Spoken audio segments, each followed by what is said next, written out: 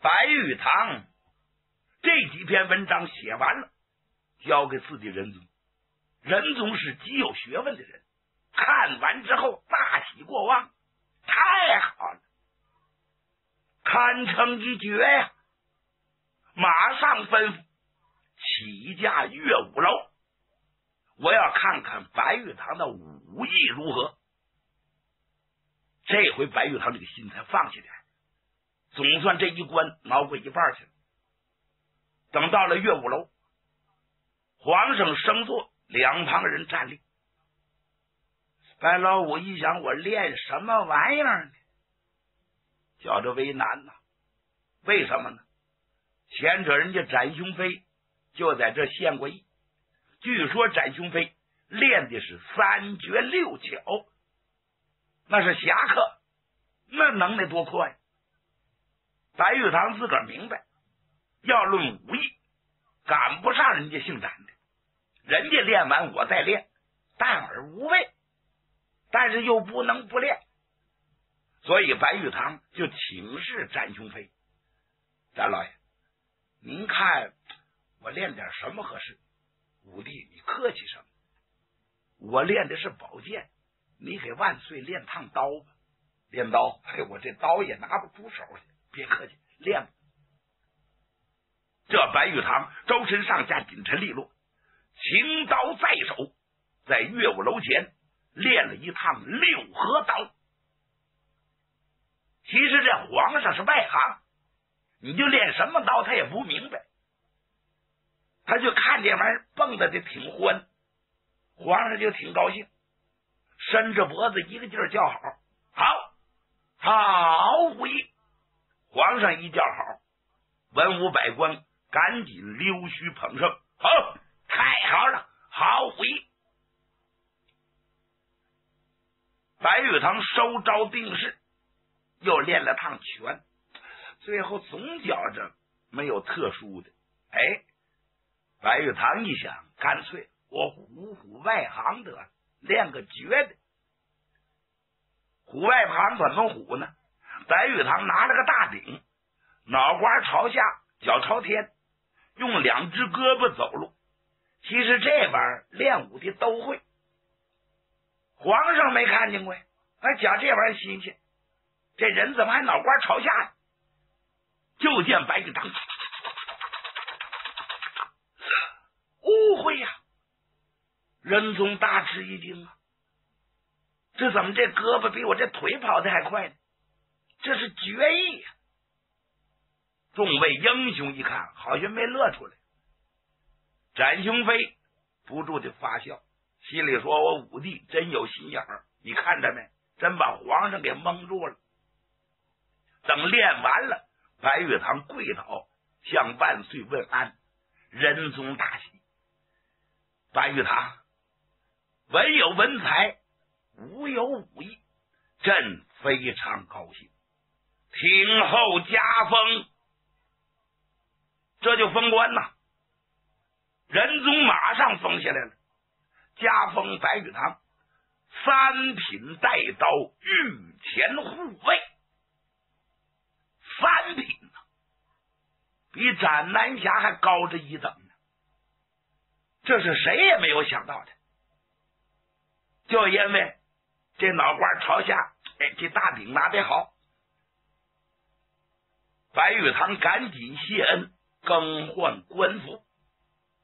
仁宗告诉光禄寺大排宴宴，给我这白爱卿好好接风，夸官三日，然后在开封府效力当差。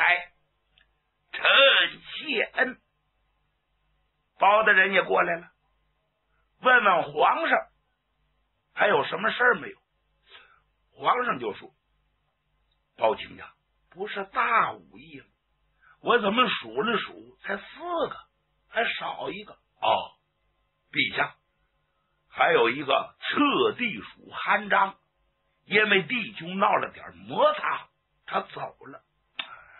哎，包爱卿最好把他找来，朕也想见他一见。”然后加封他的官职，让武艺弟兄还在一起。这事是个难题，上哪儿找韩章去呢？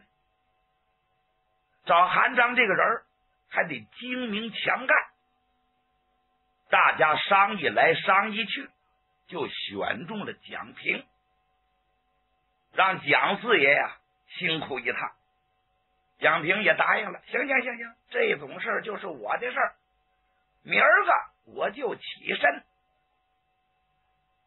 蒋平还化了妆了，化妆了个游方的道士，头上戴着九梁道巾，身穿八卦仙衣，腰里系着水火丝绦，抱着鱼骨桶，拿着鱼骨剪板。这是什么玩意儿？这就是幌子，鱼骨桶能拧开，把他的兵器分水峨眉刺装到里边。这个剪板呢，可以在手里头打出响来，啪嗒啪嗒啪嗒。另外呢，蒋平还拿个招牌，上面写了几个字大刘运卦，未卜先知。”下边三个字儿蒋铁口，你说他能骗人不？他背着个兜子，里边带上应用之物，腰里边带好了开封府的龙鞭信票，这才跟众人告辞。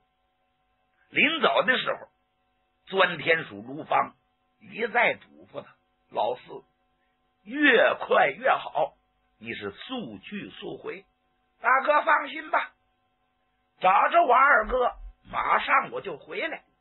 不过呀，你们也甭着急，他那人性情古怪，这么大的国家，谁知他在哪儿啊？说句不好听的话，他心情再不好，再死了，我更没地方找去了。反正我尽力而为吧。中备，咱们回头见。安下大家等候。咱不说，单表蒋平出了开封府，他一琢磨哪儿找去呢？哎，先到韩章的家乡去一趟。他到了黄县，结果一打听啊，韩章从来就没回来。哎呀，没回来，上哪儿去了呢？蒋平就盘算着，忽然想起来据韩章说，他有个好朋友住到信阳州。是个出家的和尚，这和尚叫喜臣。哎，我到信阳再看看。反正这阵叫有病乱投医，哪儿找着哪儿算。蒋平又赶奔信阳州，这就叫不挑不成书。就因为蒋四爷往信阳州这一来，才引出一场血战。他呀，还真找着韩章了。怎么找着的呢？咱们还要从头说起。在前文书咱说了，蒋平使用撤水拿鱼之计，把韩章给气走了。韩章说了那么几句话：“立志不交无益友，存心当报有恩人。”一赌气离开文光楼。韩章啊！心如刀绞一般，他没想到大武艺到现在落到这步田地，弟兄之间互不信任，互相残杀，这叫什么武艺？他也发了誓愿，立志不交朋友。韩章这个人性情古怪，外号叫韩轴子，一条道跑得黑。上哪儿去呢？他心里也没数，有心回家乡，又怕人们找他。哎，到新扬州溜达溜达吧。啊，他真奔新扬州了，也想找那洗尘和尚找个地方落脚。如果说好了，干脆我把脑瓜一剃，落发为僧。他是这么想的。等这一天到了信阳州。找个店房住下来，这店房条件挺不好，客人又多。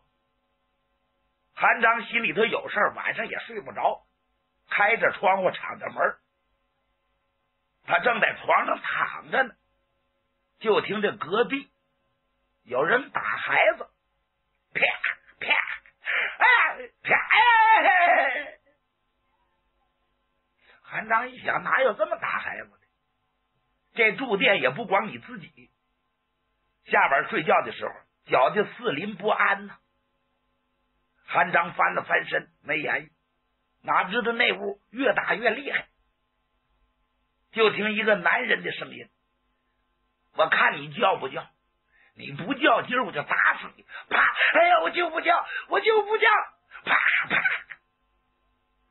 结果把人们呢都给吵醒了。韩章睡不着，蹬上鞋到那屋看热闹。门前挤着不少人。韩章个儿大，削着脚往里一看。里边这个人呢，有个四十多岁，穿的衣服是普通老百姓的装束，手里拿个笤帚疙瘩，在地下站个小孩看这意思不超过十岁。这小孩长得平头正脸，还挺好，光着屁股，一丝不挂。这人拿笤帚疙瘩正揍他，也不知叫他叫什么，这孩子就不叫，还挺命。韩章实在看不下去了，分开众人，走进屋里头，用手一指那个人哎，你真不知自卖！店房不是你一个人，正在休息的时候，你跑这管教孩子呢？哎，吵得四邻不安，别人这觉怎么睡呀？你回家里头怎么管教都行。这么一说呀，那小孩挺聪明。噔噔噔，跑过来了，把韩章两条腿给抱住了。大爷救命！大爷救命！啊！他他不是我爹，也不是我们家的人，他非得叫我管他叫叫那个叫什么？他他非得逼着我管他叫爹。那那爹那玩意儿能随便叫吗？他不是我爹，我叫什么爹？韩章一听。这孩子话里有话，别哭，跟我说说你是怎么回事？他是你什么人？他是这么回事，我是安徽合肥的人，我们有个公子叫包世荣。要提包世荣，大概您不熟；提他叔叔，那可了不得了。我们包公子包世荣的叔叔。就是当朝一品的大丞相包拯包袭人，我们公子离开家乡，带着我赶奔东京汴梁找他叔叔。路过黄河渡口的时候，遇上了土匪，把我们主仆给冲散了。我们公子现在死活在什么地方，我都不清楚，我也没出过门，迷失方向。饿的三天没吃这东西，后来被一个山西老仙儿把我收留了。他说管我饭吃，领我找我们公子，我就跟着他走呗。也不知怎么的，他把我卖给这个人了。这人就领着我，也不找我们公子，非得叫我管他叫爹，我就不干，他就打我。我英雄啊，你救救我吧，帮着我找我们公子包世荣。哎，你别说，小孩不大，说的事儿挺清楚。哦，韩章一听，牵涉到开封府的事儿。那么，孩子，你叫什么名？我姓邓，叫邓九如，我也是个小书童。哦，韩章一想，还真不能不管。我说，你花多少钱买的这孩子？那位一瞅韩章个儿挺大，还背着把刀，有点害怕。对，我花十两银子买的。实不相瞒，我没儿没女，就喜欢孩子。有个人贩子把这孩子卖给我了。你你你你说我花钱能白花吗？我为什么花这么多钱买他呢？就为的是找个儿子，供他吃，供他喝。他要什么，我给他买什么。叫个爹他都不叫，您说我能不打他吗？嗨，韩章乐了，你呀，真可笑！强拧的瓜果不甜呐，别人的肉贴不到自己身上。你看这孩子不小了，他不乐意，你就打死他，有什么意思？哎，你把他打服了，他勉强管你叫声爹，也不是一心一意。嗯，这样吧，把这孩子你匀给我吧。那个不行，我花十两银子，路上还花那么多钱，我管谁要去？你别吵吵，花多钱我给多钱不就得了吗？给都。这人一琢磨，嘿也对，这孩子挺拧，跟着他呀也是生气，干脆我多要点银子就算了。跟韩章一讲价钱，要了纹银二十五两。韩章有钱，连奔儿都没打，把二十五两银子给了他。这个人心满意足，恐怕韩章反悔，连夜算了账，他走了。这小孩邓九如呢？韩章就领到屋去了，让他穿上衣服，耐心的就问他。邓九如也不哭了，把经过说了一遍。咱们书中代言包拯，就这包大人呢，亲哥仨，大哥包山，二哥包海，他叫包拯。他大哥有个儿子叫包勉。您没看过那出戏吗？叫十里长亭铡包勉。他大嫂骂他忘恩负义。另外呢，他二哥包海有个儿子，就叫包世荣。包世荣这个孩子挺好，学问也不错。来年是大比之年，想要进京赶考，辞别父母，带着这小书童邓九如。赶奔京城，没出过门啊！正好过黄河渡口的时候，遇上强盗了，把随身带的东西都给抢去了，主仆就这么失散了。包世荣落到哪儿了？不知道。邓九如一个九岁的孩子，没出过远门，能不着急吗？越跑离家越远，就这么的被人贩子给拐去了，他卖给刚才那个人。邓九如说的都是真的，所以他就磨着韩章。无论如何，您把我送到东京。到东京之后，我找我们公子，就见不着公子，也见见相爷，想办法把我们公子给找着。哎呀，韩章一想，我是破车爱揽债呀，我根本就不能回东京。我一进开封府，脑袋都疼，闹翻了。但是又把这个事儿揽到身上了，还真得负责到底。尤其挺喜欢这个孩子。韩章说：“这么办，孩儿，你别着急，我还有点事儿，就是我不送你，我也委托一个人，一定把你送到开封府，让你们亲人团聚。那我谢谢您了，您贵姓？呃，我姓韩，韩爷爷，您您太好了。”韩章说：“也不能这么说。”但是你别闹啊！你听我的，哎，我听。这邓九如就睡了。到第二天，韩章起来，领着个孩子，你说这不找累赘吗？寻思到街上转一圈，孩子想吃什么，给他买点什么。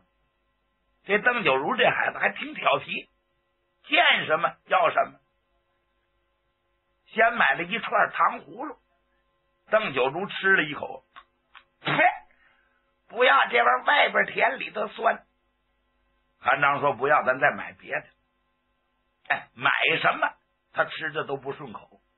转来转去一拐弯，前面有个小饭馆这饭馆别的不卖，卖窝头小米粥。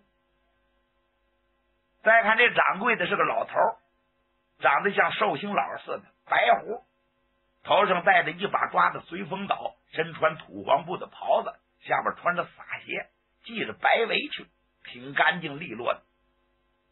把这窝头啊，刚出屉的摆在门前，正在这吆喝。大个窝头了啊，小米粥嘞！哪位吃请到屋里不？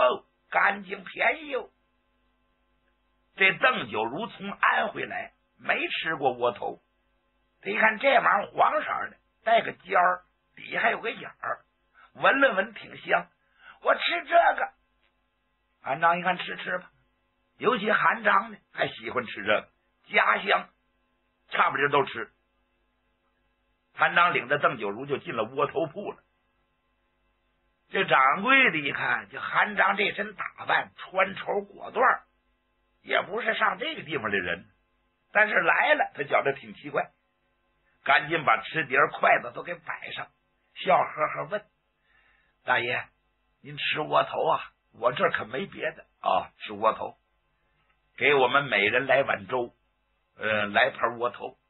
有别的菜吗？没有，就是咸菜。”经济小吃，别的咱们本小利薄做不了。行啊，咸菜各式各样的给来点。哎哎哎，窝头摆上，粥盛上，把咸菜摆这儿。